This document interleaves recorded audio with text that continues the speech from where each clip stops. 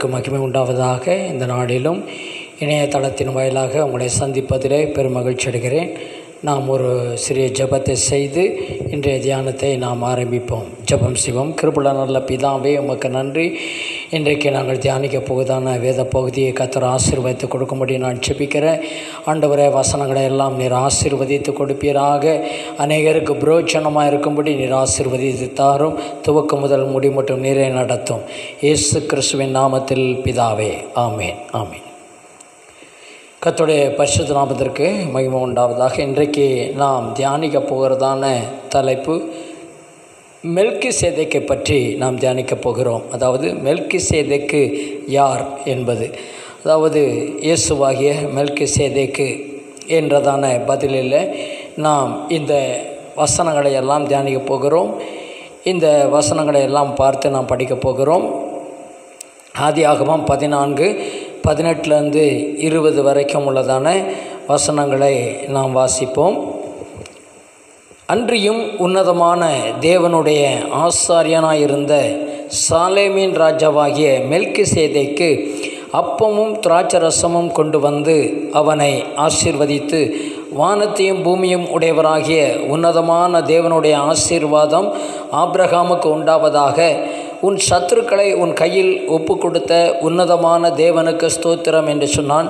இவனுக்கு ஆம்பரகாம் எல்லாவற்றிலும் தசமபாகம் கொடுத்தான் என்று ஆதியாகமும் பதினான்கு பதினெட்டிலிருந்து இருபது வரைக்கும் உள்ள வசனங்களை நாம் வாசிக்கிறோம். அவ்வண்ணமாக சங்கீதம் நூற்றி பத்து ஒன்றிலிருந்து ஐந்து வரைக்கும் உள்ள வசனங்களை கூட வாசிக்கும் பொழுது கர்த்தர் என் ஆண்டவரை நோக்கி நான் உம்முடைய சத்துருக்களை உமக்கு பாதபடியாக்கி போடும் வரைக்கும் நீர் என்னுடைய வலது பாரசத்தில் உட்காரும் என்றார்.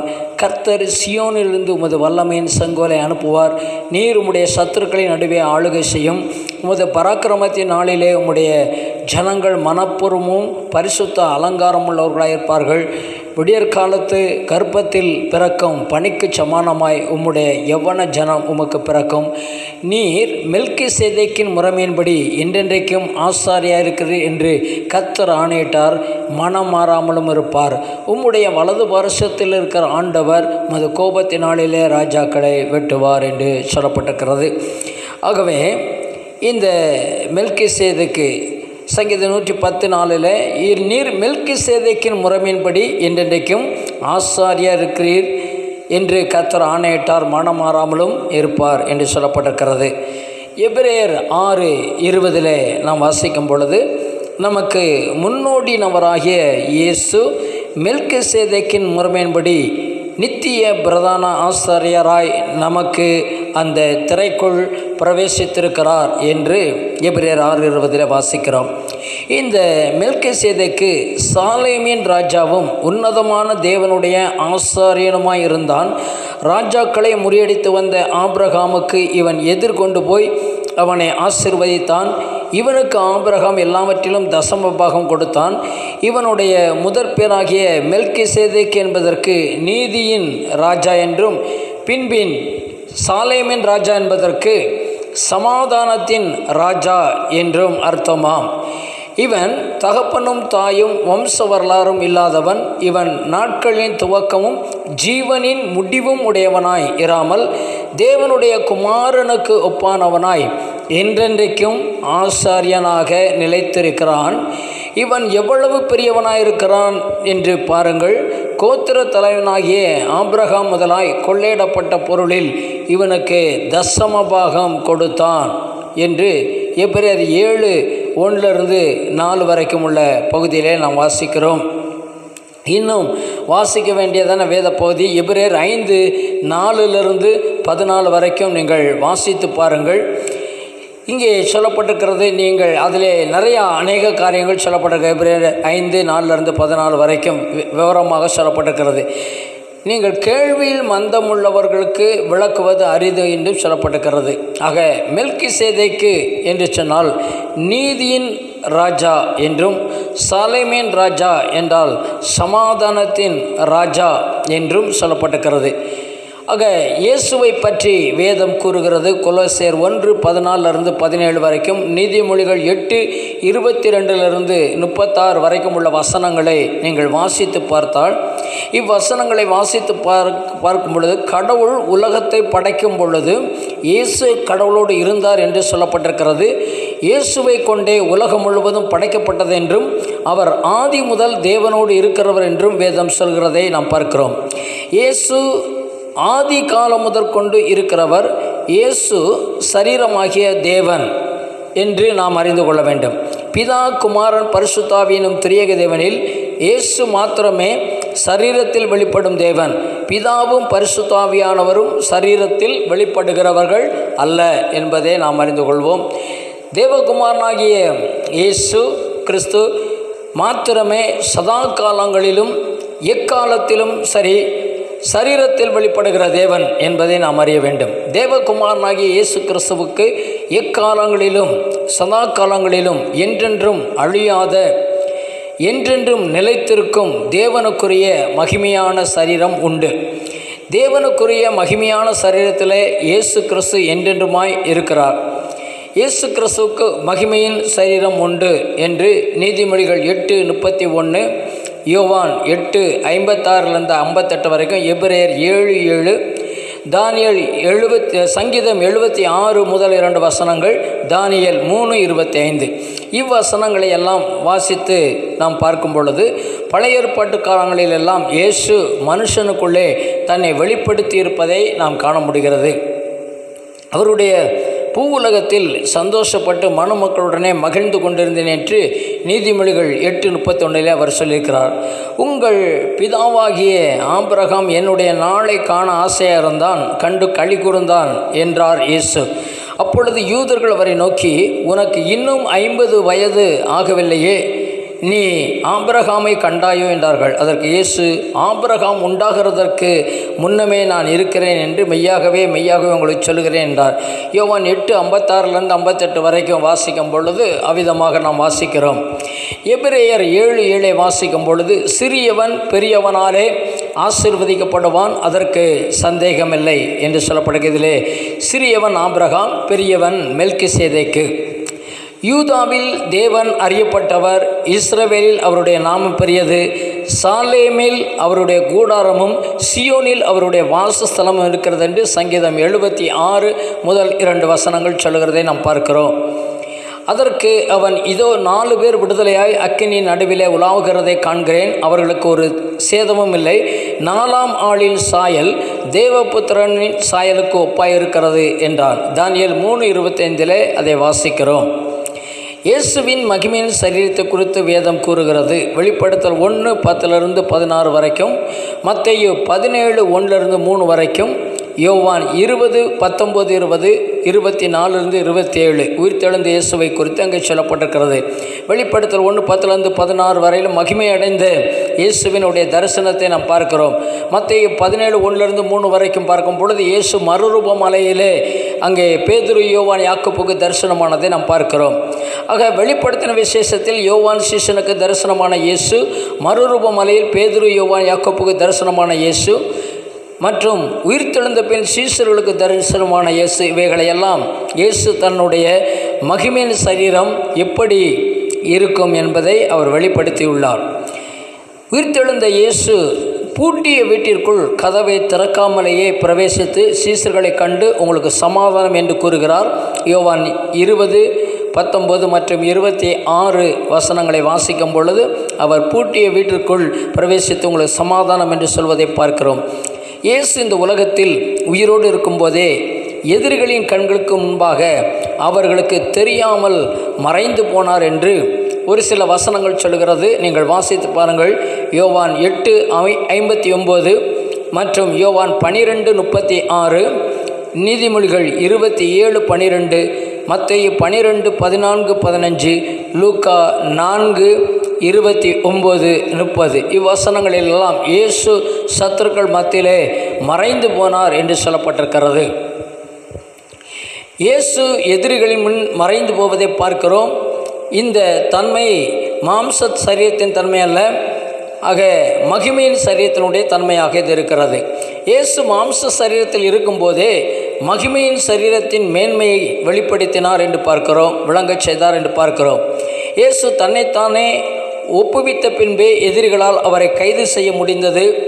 சாமானியமாக அவரை பிடிக்க அவரை கைது செய்ய ஒருவராலும் முடியவில்லை. அவர் தன் மகிமையின் சரீரத்தில் எப்படி மறைந்து விடுவாரோ அதே விதமாக மறைந்து போனார் என்பதை நாம் பார்க்கிறோம். இயேசுவினுடைய காயப்பட்ட சரீரத்தை குறித்து சகரியா பதிமூன்று ஆறு சகரியா பனிரெண்டு பத்து வெளிப்படுத்தல் ஒன்று ஏழு சகரியா பதினான்கு நான்கு ஐந்து வசனங்களிலே நாம் வாசிக்கிறோம். அதை வாசித்து பாருங்கள். சகரியா பதிமூன்று ஆறு சகரியா பனிரெண்டு பத்து வெளிப்படுத்தல் ஒன்று ஏழு சகரியா பதினான்கு நான்கு அஞ்சு. அப்பொழுது ஒருவன் அவனை நோக்கி உன் கைகளில் இருக்கிற இந்த வடுக்கள் ஏதென்று கேட்டால் என் சிநேகிதரின் வீட்டிலே காயப்பட்டதினால் உண்டானவைகள் என்பான் என்று சகரியா பதிமூன்று ஆறு சொல்கிறது. நான் தாவிதின் குடும்பத்தாரின் மேலும் எருசலேமின் குடிகள் மேலும் கிருபை நாவியையும் விண்ணப்பங்களின் ஆவியும் ஊற்றுவேன். அப்பொழுது அவர்கள் தாங்கள் குத்தின என்னை நோக்கி பார்த்து ஒருவன் தன் ஒரே பேரானவனுக்காக புலம்புகிறது போல எனக்காக புலம்பி ஒருவன் தன் தலைச்சன் பிள்ளைக்காக துக்கிக்கிறது போல எனக்காக மனங்கசந்து துக்கிப்பார்கள் என்று சகரியா பனிரெண்டு பத்தில். அந்திக்கிறிஸ்துவின் நாட்களிலே இஸ்ரவேல் ஜனங்கள் இயேசுவை குறித்து மனஸ்தாபப்பட்டு அவரிடத்தில் விதமாக புலம்புவார்கள் என்று தீர்க்க தரிசனமாய் சொல்லப்பட்டிருக்கிறதை. பார்க்கிறோம். இதோ மேகங்களுடனே வருகிறார். கண்கள் யாவும் அவரை காணும். அவரை குத்தினவர்களும் அவரை காண்பார்கள். பூமியின் கோத்தரத்தார் எல்லோரும் அவரை பார்த்து புலம்புவார்கள். அப்படியே ஆகும். ஆமேன் என்று சொல்லப்பட்டிருக்கு. வெளிப்படுத்தல் ஒன்று ஏழிலே. அவரை குத்தினவர்களும் அவருடைய கரங்களை எல்லாம் பார்ப்பார்கள் என்று சொல்லப்பட்டிருக்கிறது. அந்நாளிலே அவருடைய பாதங்கள் கிழக்கே எருசலேமுக்கு எதிரே இருக்கிற ஒலிவ மலை மேல் நிற்கும். அப்பொழுது மகா பெரிய பள்ளத்தாக்கு உண்டாகும்படி ஒலிவு மலை தன் நடு மையத்திலே கிழக்கு மேற்காய் எதிராக பிளந்து போம். அதனாலே ஒரு பாதி வட பக்கத்திலும் ஒரு பாதி தென் பக்கத்திலும் சாயும். அப்பொழுது என் மலைகளின் பள்ளத்தாக்கு வழியாய் ஓடி போவீர்கள் மலைகளின் பள்ளத்தாக்கு ஆல்சால் மட்டும் போகும். நீங்கள் யூதாவின் ராஜாவாகிய உசியாவின் நாட்களில் பூமி அதிர்ச்சிக்கு தப்பி ஓடினது போல ஓடிப்போவீர்கள். என் தேவனாகிய கத்தர் வருவார். தேவரீரோட எல்லா பரிசுத்தவான்களும் வருவார்கள் என்று சகரியா பத்தொம்போது நாலு ஐந்தில் இயேசு கிறிஸ்துவனுடைய பகிரங்க வருகையை குறித்து அங்கே சொல்லப்பட்டிருக்கிறதை. பார்க்க ஒளிவு மயில் மேல் அவருடைய பாதங்கள் இறங்கும் என்று சொல்லப்பட்டிருக்கிறது. இயேசு கிறிஸ்துவின் காயப்பட்ட சரீரம் மனு மக்களுக்காக பலியிடப்பட்ட பலியின் உடன்படிக்கையின் அடையாளம். இது இயேசு மனிதனாக அவதரித்த மனுஷ மகிமையின் சரீரம் என்பதை அறிந்து கொள்ள வேண்டும். பலியினாலே என்னோட உடன்படிக்கை பண்ணின என்னுடைய பரிசுத்தவான்களை என்னிடத்தில் கூட்டுங்கள் என்பார். சங்கீதம் ஐம்பது ஐந்திலே நாம் வாசிக்கிறோம். இயேசுவின் ஆயிரம் வருட அரசாட்சி முடியும் மட்டும் அவருடைய காயப்பட்ட சரீரம் அழிவதில்லை என்பதை நாம் தெரிந்து கொள்ள வேண்டும். இயேசு எல்லா காலத்திலும் மனுஷர்களுக்குள்ளே தேவனுடைய சரீரத்திலும் தோன்றியிருக்கிறார் மனுஷருடைய சரீரத்திலும் தோன்றி மறைந்திருக்கிறார். ஏனெனில் அவர் இயேசு சரீரமாகிய தேவன். ஆகவே அவர் எப்போதும் வெளிப்படுவார் எப்போதும் காணப்படுவார் என்பதை நாம் தெரிந்து கொள்ள வேண்டும். இயேசு கிறிஸ்துவின் காயப்பட்ட மனுஷ சரீரம் இஸ்ரவேலருக்கும் மற்றும் முழு உலகத்திற்கும் இந்த பூமியிலே ஆயிரம் வருட அரசாட்சியிலே சாட்சியாக விளங்கும் என்பதை நாம் தெரிந்து கொள்ள வேண்டும். புதிய வானம் புதிய பூமி உண்டாக மட்டும் அப்படியே இருக்கும். அதன் வரையிலும் அவருடைய மனுஷ மாமிச சரீரம் அழிவை காண்பதில்லை என்று தீர்க்க தரிசனம் உரைக்கப்பட்டிருக்கிறது.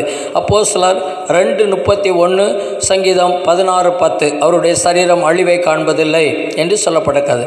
ஆயிரம் வருட அரசாட்சிக்கு பின்பு புதிய வானம் புதிய பூமியிலே அவருக்கு காயப்பட்ட சரீரம் இருக்காது. மனுஷ மகிமின் சரீரத்திலிருந்து தேவ மகிமையின் சரீரத்துக்கு மறுரூபப்பட்டு விடுவார் என்பதை நாம் அறிந்து கொள்ள வேண்டும். நித்திய நித்தியமாக தேவ மகிமையின் சரீரத்திலே அவர் காணப்படுவார். ஆகவே இயேசு இப்போது இருப்பது மனுக்குலத்திற்காக பலியிடப்பட்ட பலி உடன்படிக்கையின் சரீரம் மனுஷ அவதாரத்தின் சரீரம் என்பதை நாம் அறிந்து கொள்ள வேண்டும். ஆகையால் அவர் உலகத்தில் பிரவேசிக்கும் போது ஒரு சரீரத்தை எனக்கு ஆயத்தம் பண்ணினீர் என்றார் என்பதாக எபிரேயர் பத்து ஐந்திலே வாசிக்கிறோம். எபிரேயர் பத்து ஐந்திலே வாசிக்கிறோம். அவர் உலகத்தில் பிரவேசிக்கும் போது ஒரு சரீரத்தை எனக்கு ஆயத்தம் பண்ணினீர் என்று சொன்னதாக சொல்லப்பட்டிருக்கிறது. தேவனே உம்முடைய சித்தத்தின்படி செய்ய ஏதோ வருகிறேன் என்று சொன்னார்.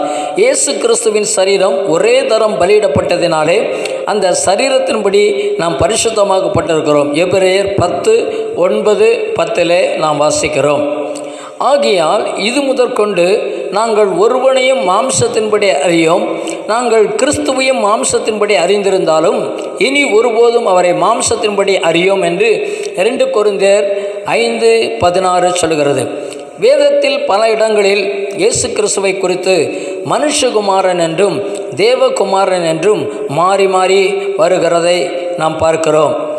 தேவகுமாரன் என்பதற்கான வசனங்கள் மார்க்கெழு சுவிசேஷம் ஐந்தாம் அதிகாரம் ஆறாவது வசனம் ஏழாவது வசனம் மற்றும் மார்க்கு மூன்று பதினொன்று மத்தேயு பதினான்கு முப்பத்தி ரெண்டு முப்பத்தி மூணு மத்தேயு பதினாறு ஆறு யோவான் ஒன்று முப்பத்தி நாலு மற்றும் நாற்பத்தி ஒம்பது மற்றும் யோவான் மூன்று பதினாறுலேருந்து பதினெட்டு வரைக்கும் யோவான் ஆறு அறுபத்தி ஒம்பது யோவான் ஒன்பது முப்பத்தஞ்சிலேருந்து முப்பத்தெட்டு வரைக்கும் யோவான் இருபது முப்பத்தி ஒன்று ஒன்று யோவான் நான்கு பதினான்கு பதினஞ்சு. இந்த வசனங்களெல்லாம் தேவகுமாரன் என்று சொல்லப்பட்டிருக்கிறதை பார்க்கிறோம். இன்னும் மனுஷகுமாரன் என்று மத்திய எட்டு இருபது மற்றும் ஒன்பது ஆறு மற்ற பத்து இருபத்தி மூணு மற்றைய பதினொன்று பத்தொம்போது மற்ற பன்னிரெண்டு எட்டு மற்றும் அதில் முப்பத்தி ரெண்டாவது வசனம் நாற்பதாவது வசனம். இந்த வசனங்களெல்லாம் சொல்லப்பட்டிருக்கிறது தேவகுமாரன் என்றும் மனுஷகுமாரன் என்றும் இவ்வசனங்களிலே நாம் வாசிக்கிறோம். ஆக இரண்டுக்கும் உள்ள வித்தியாசம் என்ன? யோவான் ஐந்து இருபத்தி ஐந்து இருபத்தி ஏழில் நாம் வாசிக்கும் பொழுது அது தேவனின் சரீரமாய் இருப்பவர் தேவகுமார் என்றும் மனுஷனின் சரீரமாய் இருப்பவர் மனுஷகுமாரன் என்றும் அறிந்து கொள்ள வேண்டும். மனுஷகுமாரன் என்றால் மனித அவதார சரீரத்தை உடையவர் என்பதை நாம் அறிந்து கொள்ள வேண்டும். மனுஷகுமார் என்றால் மனித அவதார சரீரத்தை உடையவர். தேவகுமார் என்றால் தேவ மகிமையின் சரீரத்தை உடையவர். யோவான் ஐந்து இருபத்தைந்து இருபத்தி ஏழில் இந்த வித்தியாசத்தை நாம் பார்க்கிறோம். தேவகுமார் என்றும் மனுஷகுமார் என்றும் சொல்லப்படுகிறது. ஆக தேவகுமாரன் தேவகுமாரன் என்பவருக்கு அல்லது தேவகுமாரனுக்கு சந்ததி என்பது கிடையாது. தேவகுமாரனுக்கு என்ன கிடையாது? சந்ததி கிடையாது. ஆனால் மனுஷகுமாரனுக்கு என்ன உண்டு? சந்ததி உண்டு.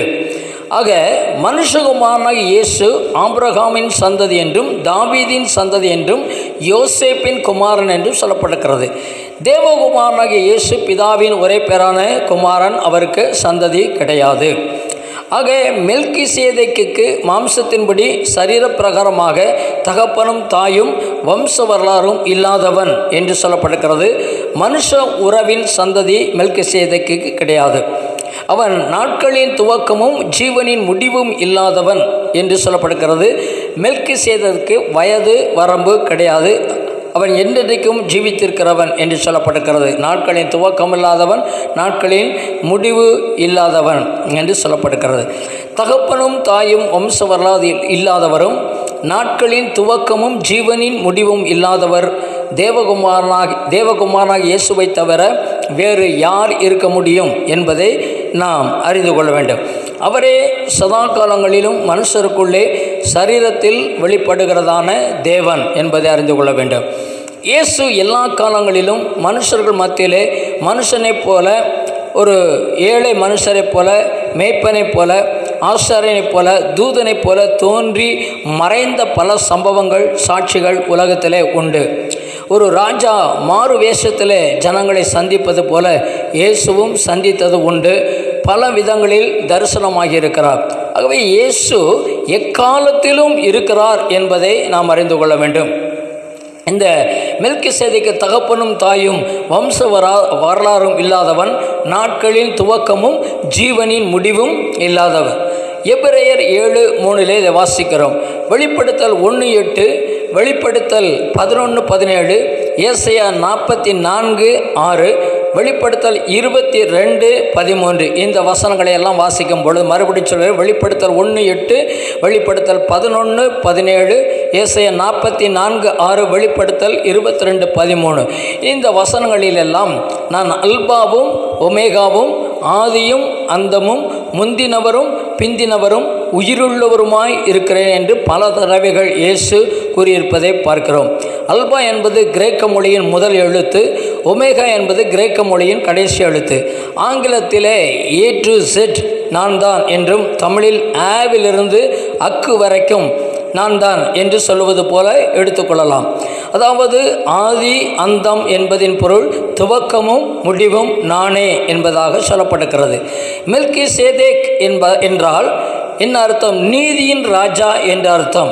எப்ரேர் ஏழு ரெண்டிலே வாசிக்கிறோம். இயேசுவின் மறுபெயர் நீதி என்பது.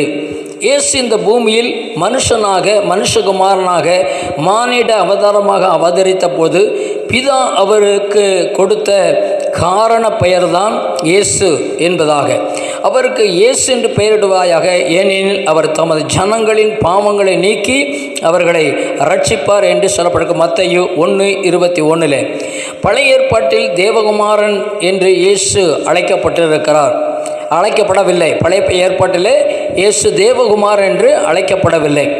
சங்கீதம் இரண்டு பன்னிரெண்டு நீதிமொழிகள் முப்பது நாலு வசனங்களிலே தேவகுமாரன் என்று சொல்லப்பட்டிருக்கிறது. சங்கீதம் இரண்டு பன்னிரெண்டு நீதிமொழிகள் முப்பது நாலு வசனங்களிலே தேவகுமாரன் என்று சொல்லப்படுகிறது யாத்திரையாகமம் பதினான்கு பத்தொம்பது இருபது ஆதியாகமம் இருபத்தி ரெண்டு பதினொன்று ஆதியாகமம் பதினாறு ஏழுலேருந்து பத்து வரைக்கும் இவ்வசனங்களில் எல்லாம் தூதனானவர் என்று சொல்லப்பட்டிருக்கிறது.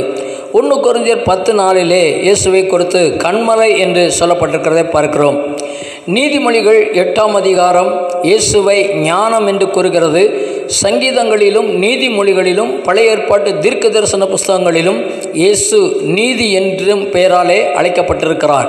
இறைமையா இருபத்தி மூணு ஐந்து ஆறு மற்றும் முப்பத்தி மூணு பதினஞ்சு பதினாறிலே. இறைமையா இருபத்தி மூணு ஐந்து ஆறு மற்றும் முப்பத்தி மூணு பதினஞ்சு பதினாறு வசனங்களிலே நீதியுள்ள கிளை என்று சொல்லப்பட்டிருக்கிறதை பார்க்கிறோம். இயேசு நீதியுள்ள கிளை. அவர் நீதி என்று அழைக்கப்பட்டிருக்கிறார்.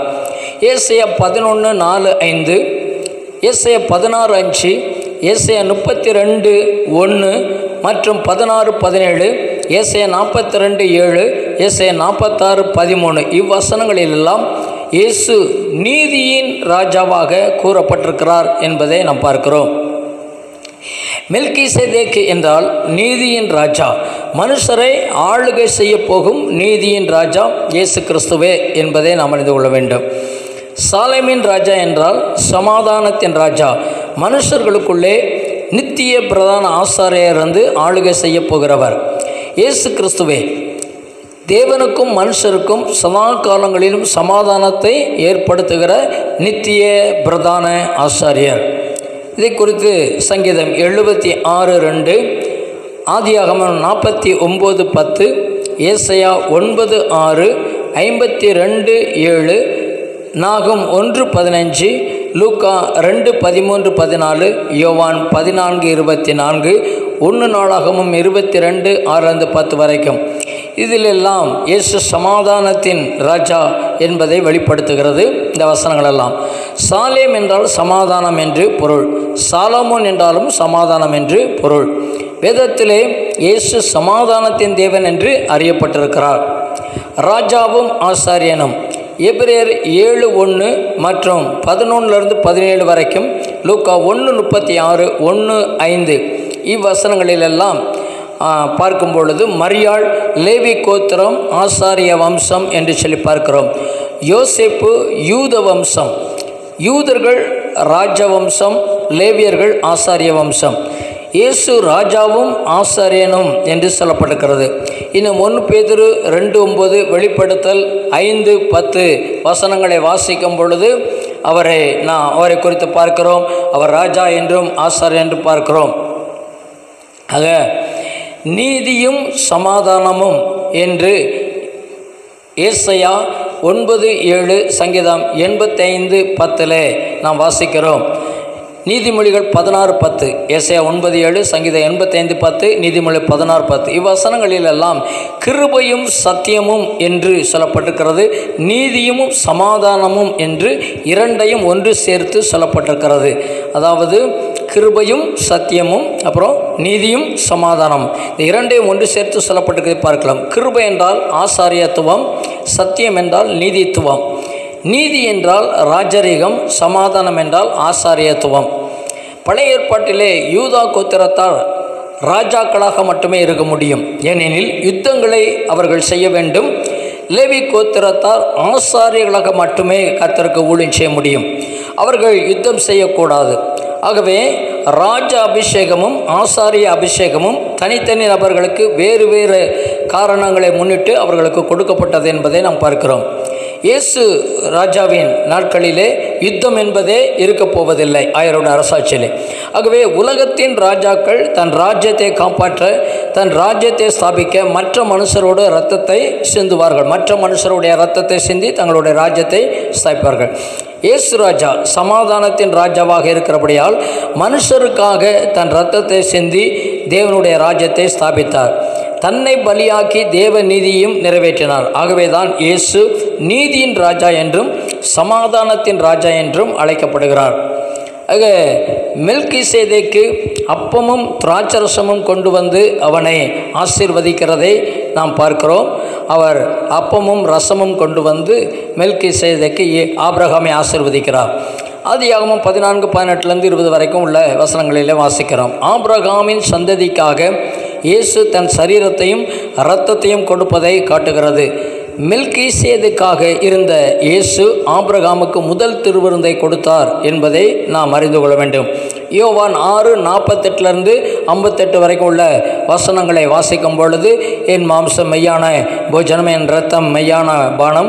என் மாம்சத்தை புசித்து என் ரத்தத்தை பானம் பண்ணுகிறவனுக்கு நித்திய ஜீவன் உண்டு. நான் அவனை கடைசி நாளில் எழுப்புவேன் என்றெல்லாம் சொல்லியிருக்கு பார்க்கிறோம். மற்ற இருபத்தாறு இருபத்தாறுலேருந்து இருபத்தெட்டு வரைக்கும் உள்ள வசனங்களை வாசிக்கும் பொழுது இயேசு அப்பத்தை பிட்டு சீசர்கள் கொடுத்த காரியத்தை பார்க்கிறோம். இதே காரியத்தை தான் மெல்கு சேதைக்கு ஆபிரகாமுக்கு கொடுத்ததை நாம் பார்க்கிறோம். சங்கீதம் ஐம்பது ஐந்து மற்றும் ஒன்பதுலேருந்து பதினஞ்சு எபிரியர் பத்து நாலுலேருந்து பதினாலு அதில் இருபத்தி ரெண்டு வரைக்கும் வாசிக்கும் பொழுது அவர் திருவிருந்தின் அடையாளங்கள் என்பதையெல்லாம் நாம் பார்க்கிறோம். அப்பமும் ரசமும் இயேசு கிறிஸ்துவின் சரீரத்தையும் இரத்தத்தையும் குறிப்பதால் இயேசு மாத்திரமே அப்பமும் ரசமும் கொண்டு வந்து கொடுத்து ஆசிர்வதிக்க முடியும் என்பதை நாம் அறிந்து கொள்ள வேண்டும்.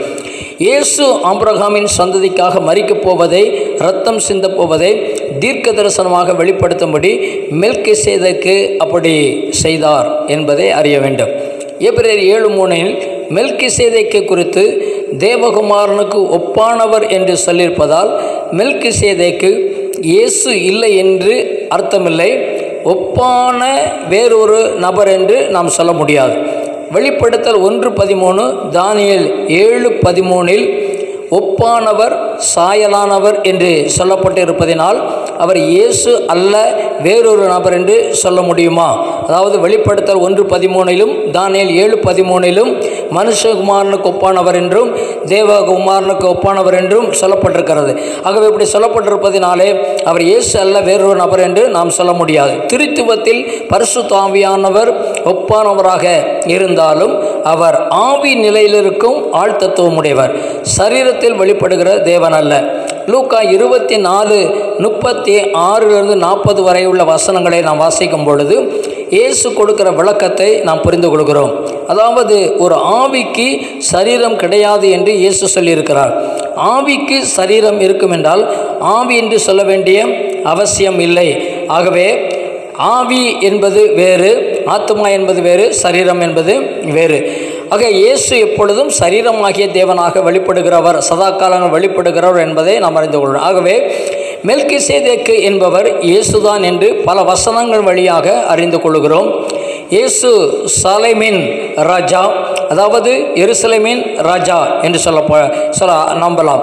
சாலேம் என்றால் எபூஸ் என்றும் பரிசுத்த நகரம் என்றும் தேவனின் நகரம் என்றும் மகாராஜாவின் நகரம் என்றும் பரிசுத்த பர்வதம் என்றும் சியோன் என்றும் சொல்லப்பட்டிருக்கிறதை பார்க்கிறோம். ஆக மெல்கி சேதைக்கு ஆப்ரஹாமன் காலத்தில் பூமியில் வாழ்ந்த பூமியிலே வாழ்ந்த ஒரு ராஜா அல்ல. பரலோகத்திலிருந்து வந்து ஆப்ரஹாமை ஆசீர்வதித்து போன ஒரு ராஜா. சாலேம் என்பது எருசலேமை குறிக்கிறது. இயேசு நித்திய நித்தியமாய் என்றென்றும் அவர் ராஜாவாக இருக்கிறார். ஆக அவர் என்றென்றைக்கும் சாலைமேன் ராஜா தான் எருசலேமின் ராஜா தான் சங்கீதம் நாற்பத்தி எட்டு ஒன்றிலிருந்து மூணு வரைக்கும். சங்கீதம் நூற்றி இருபத்தி ரெண்டு ஒன்றிலிருந்து நாலு வரைக்கும். அதை நாம் பார்க்கிறோம். இயேசு என்றென்றுமாய் இருக்கிறதான எருசலேமின் ராஜா. ஆக மெல்கி சேதைக்கு என்றால் அவர் நீதியின் ராஜா என்றும் மற்றும் சாலைமின் ராஜா என்று சொன்னால் சமாதானத்தின் ராஜா என்றும் பொருள். அது மட்டுமல்ல அவர் ராஜாவாகவும் ஆசாரியராகவும் இருக்கிறவர். அவர் தம்முடைய இரத்தத்தை சிந்தி மீட்டு கொண்டபடினாலே அவர் மணமக்களுக்கு பரிகாரம் செய்தபடினாலே அவர் மனுமக்களுக்காக எப்பொழுதும் பிதாவை நோக்கி வேண்டுதல் செய்கிறபடினாலே அவர் நித்திய பிரதான ஆசாரியராய் இருக்கிறார். மட்டுமல்ல அவர் தம்முடைய இரத்தத்தை சிந்தி சத்தியத்துக்காக சத்தியத்தினுடைய ராஜ்யத்தை அவர் ஸ்தாபித்தபடினாலே எல்லா உள்ளங்களிலும் அவர் ராஜாவாக வீற்றிருக்கிறார் என்று பார்க்கிறோம். அப்போ மெல்கி சேதைக்கு என்று சொன்னால் வேறொரு நபர் அல்ல. அவர் லேவி கோத்திர முறைப்படி அவர் வந்ததான அந்த விதமான ஆசாரியர் அல்ல. ஆனால் அவர் யூதா கோத்திரத்திலே பிறந்திருந்தாலும் அவர் மனுமக்களுக்காக ரத்தம் சிந்தி ஜீவனை கொடுத்து பலியாகி பிதாவினிடத்தில் எப்பொழுது நமக்காக வேண்டுதல் செய்கிற நித்திய பிரதான ஆசாரியராய் இருக்கிறார் என்று வேதம் திட்டமாய் சொல்லுகிறது. ஆகவே அவர் ராஜாவாகவும் ஆசாரியராகவும் இரண்டு அபிஷேகத்தையும் உடைய நித்திய நித்திய பிரதான ஆசாரியராக இருக்கிறார் என்பதை நாம் அறிந்து கொள்வோம். அவ்விதமாக மெல்கே சேதேக் என்பதற்கு நீதியின் ராஜா என்றும் சாலேமின் ராஜா என்பதற்கும் சமாதானத்தின் ராஜா. இந்த நீதியின் ராஜா யார் சமாதானத்தின் ராஜா யார் இந்த மெல்கி சேதக்கு யார்? பழைய ஏற்பாட்டில் இயேசு என்ற பெயர் கிடையாது நீதி என்ற பெயர் உண்டு. ஆக மெல்கி சேதக்கே என்பதற்கு நீதியின் ராஜா அது கத்தராகிய இயேசு கிறிஸ்துவை தவிர வேறு ஒருவரும் இல்லை. சாலேமின் ராஜா சமாதானத்தின் ராஜா இயேசுவை தவிர வேறொரு சமாதானக்காரனும் ஒருவரும் இல்லை. அவர் சொன்னால் சமாதானத்தை உங்களுக்கு வைத்து போகிறேன் என்னுடைய சமாதானத்தை உங்களுக்கு கொடுக்கிறேன். உலகம் கொடுக்கிற பிரகாரம் நான் உங்களுக்கு கொடுக்கவில்லை. உங்கள் இருதயம் கலங்காதிருப்பதாக என்று சொன்னார்.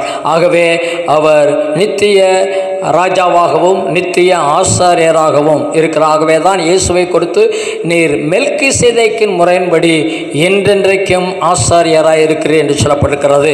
இந்த மெல்கி சேதைக்கு பழைய ஏற்பாட்டில் ஆபிரகாமை முதல் திருவிருந்து கொடுத்த கத்தராகிய இயேசு கிறிஸ்து. ஆகவே மெல்கி சேதக்கு என்றால் இயேசு கிறிஸ்து தான் என்பதை நாம் அறிந்து கொள்வோம். கத்ததாமே நம்மை ஆசீர்வதிப்பாராக. நாம் ஜெபம் செய்வோம். நாம் கண்களை மூடி ஜெபம் செய்வோம். கிருபல நல்ல பிதாவே உமக்கு நன்றி. இந்த மெல்கி சேதைக்கு குறித்து சற்று வேத வசனங்கள் வழியாக தியானிக்க நீர் கிருபை செய்தீர். ஆண்டவரே சுத்திரமப்பா ஆண்டவரே பழைய ஏற்பாட்டிலே நீ மெல்கி சேதைக்காக சாலைமின் ராஜாக வந்து ஆபிரகாமை ஆசீர்வதித்து அவருக்கு முதல் திருவிருந்தை நீர் கொடுத்தீர். அப்படியே சீசர்களுக்கு திருவிருந்தை கொடுத்தீர். இந்த நாட்களிலும் நீர் எங்களுக்கு மெல்கி சேதைக்கின் முறையின்படி நித்திய பிரதான ஆசாரியராய் இருக்கிறீர். அது மட்டுமல்ல நீர் எப்படி மெல்கி சேதைக்கின் முறையின்படி ராஜாவும் ஆசாரியனுமாக அபிஷேகம் பண்ணப்பட்டீரோ அதே வரிசையில் உம்மை ஏற்றுக்கொண்டு உம்முடைய வழியில் வருகிற ஒவ்வொரு தேவனுடைய பிள்ளைகளையும் அவர் நீர் ஆசாரியராகவும் ராஜாவாகவும் வைத்திருக்கிறீர். எங்களை ராஜாக்களும் ஆசாரியர்களும் ஆக்கினீர் என்று சொல்லி வெளிப்படுத்தின விசேஷத்திலே சொல்கிறதை பார்க்கிறோம். அவனமாக நீர் சரீரங்களை ராஜா அபிஷேகத்தினாலும் ஆசாரிய அபிஷேகத்தினாலும் நிரப்பியிருக்கிறதுக்காக ஸ்தோத்திரம். ஆண்டவரை நீர் மெல்கி சேதிக்கின் முறைப்படி நீர் எப்படி நித்திய பிரதான ஆசாரியராய் ராஜாவாகவும் மற்றும் ஆசாரியராகவும் இருக்கிறீரோ அதே போல உம்முடைய வழியில் வருகிற ஒவ்வொரு தேவனுடைய பிள்ளைகளும் மெல்கி சேதைக்கின் முறைமையின்படி யாவருமே ஆசாரியர்களாக ராஜாக்களாக உம்முடைய வழியிலே அபிஷேகம் பண்ணப்படுவதற்காக ஸ்தோத்திரம். ஆண்டவரே நீர் ஆயுட அரசாட்சியில் எப்படி ராஜாவும் ஆசாரியனுமாய் இருக்கிறீரோ அப்படியே உம்முடைய முறைமையின்படி அந்த மெல்கி சேதைக்கின் முறைமையின்படி ஒவ்வொருவரையும் ஒவ்வொரு தேவனுடைய பிள்ளைகளையும் ராஜாக்களாகவும் ஆசாரியராகவும் அபிஷேகித்து நீர் வழி நடத்துகிற தேவனாக இருக்கிறீர். உம்மோடு கூட அரசாளுகிற ஒரு ஸ்லாக்கியத்தை யாவருக்கும் கொடுத்திருக்கிறீர். நீர் அப்படி கொடுத்து உம்முடைய நாமத்தை மேம்படுத்துக்காய் ஸ்தோத்திரம். இப்படி ஆண்டவரே வேத வசனங்களினுடைய அநேக காரியங்களை தொடர்ந்து அறிந்து கொள்ளும்படி நீர் அனுக்கிரகம் செய்வீராக. நீர் ஆசீர்வதித்தபடினாலே உமக்கு நன்றி. உங்களுடைய வேதத்தின் மறைபொருள்கள் ஒவ்வொன்றையும் தெளிவாக அறிந்து கொள் கொள்ளும்படி மனக்கண்களை திறந்து ஆசீர்வதிக்க நாங்கள் செபிக்கிறோம் நீரே நடத்தும் உடைய நாமத்தை மேம்படுத்தும். இயேசு கிறிஸ்துவின் நாமத்தில் செபிக்கிறோம் பிதாவே. ஆமேன் ஆமேன். கத்தனமே ஆசீர்வதிப்பாராக. ஆமேன். God bless you